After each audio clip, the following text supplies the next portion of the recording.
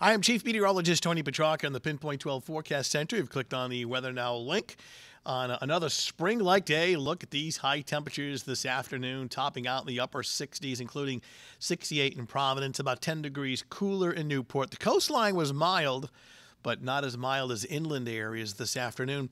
And we're still pretty warm tonight. I mean, for a, a March evening, uh, we're recording this now as of almost 10 o'clock in the evening. Uh, temperatures are still, in some cases, uh, in the 50s. We are tracking uh, some scattered rain showers, so a couple of shower chances. Uh, the first uh, one coming up for tonight, uh, light and scattered. And another chance for rain on Friday, mainly Friday day. We're going to clear out Friday night. But we've got a decent day coming up on Wednesday, comfortable. Not as warm as today, but it's certainly not cold. A blend of clouds and sunshine. Uh, cool weekend, but uh, right now still looks dry, both uh, Saturday and into Sunday.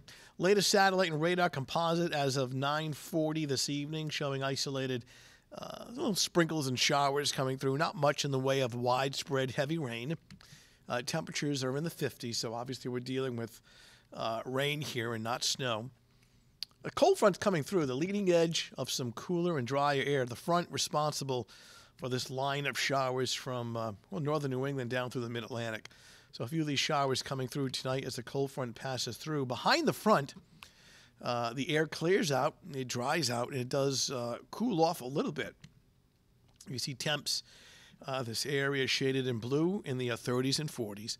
So just slightly uh, cooler weather coming up for Wednesday, but you know these temperatures for this time of year are still running above average.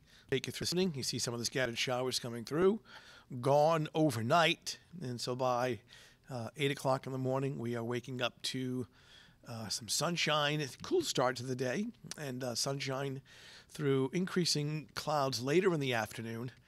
Uh, temperatures not bad, upper 40s to uh, lower 50s. So, you know, still running above normal, not as warm as today, but really a nice day coming up for your Wednesday. Here we are at 6 o'clock, and then uh, Wednesday night at 11 o'clock, temperatures are back down to around 40. So Wednesday morning, sunshine, decent start to the day, temperatures by uh, 11 a.m. in the upper 40s to around 50, and sunshine about 50, 55 during the afternoon. Seven day outlook, nice on Thursday, a little cooler. Showers Friday, clearing out Friday night. Weekend looks good. 51 sunshine Saturday, looking at 45 and cooler weather on Sunday. All right, that's the latest Weather Now update. Thanks for logging in. We'll talk to you soon.